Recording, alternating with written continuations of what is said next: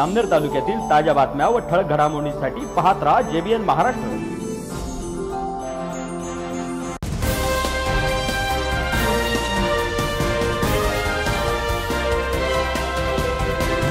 नमस्कार मी मिनल चौधरी. पाहूया काही ठळक वृत्त.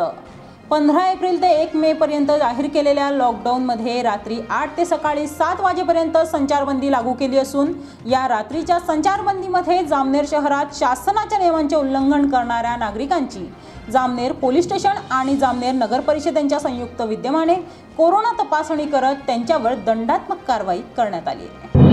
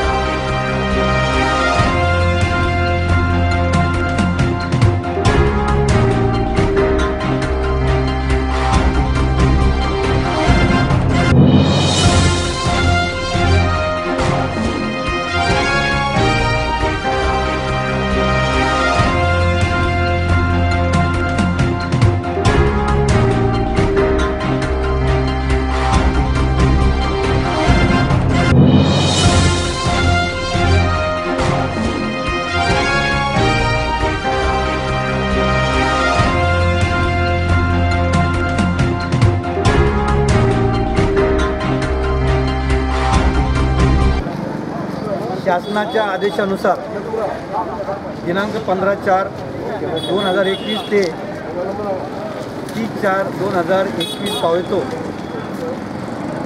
लॉकडाऊनचे आदेश प्राप्त झालेले आहेत.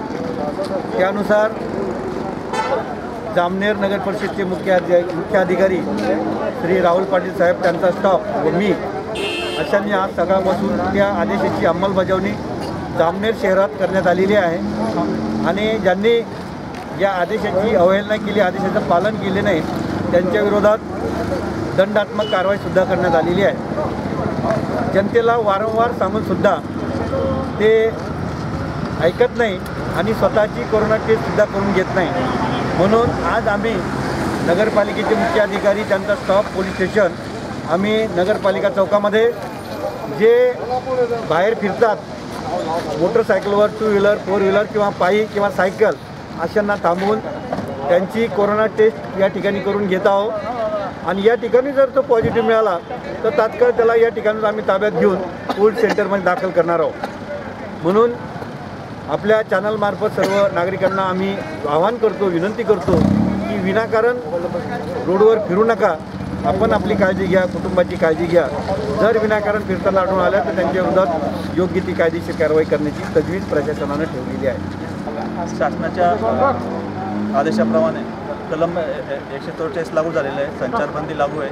तरी आजचा जो दिवस आहे आजच्या दिवशी बरेच नागरिक हे विनाकारण बाहेर फिरताना दिसत आहेत. आठ वाजले तरी काही दुकानं देखील सुरू आहेत. अशा जे आठ नंतर असे जे तीन दुकानं होती त्यांच्यावर आता नुकतीच दंडात्मक कारवाई देखील करण्यात आलेली आहे.